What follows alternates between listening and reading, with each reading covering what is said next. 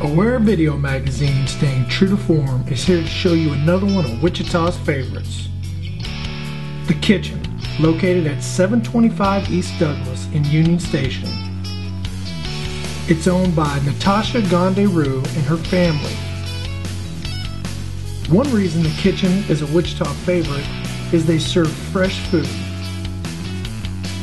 The meats are all natural with no nitrates, no sulfates, and no soy fillers. The combination of a great chef and great ingredients results in a great eating experience.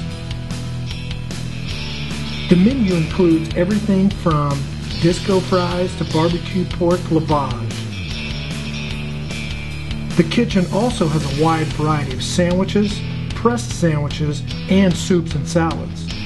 For information on the kitchen and their menu, visit their website at thekitchenwichita.com or better yet, just stop in and try it yourself. For other exciting things going on in Wichita, make sure you visit us at awarevideomag.com and follow us on Facebook, Instagram, and Twitter.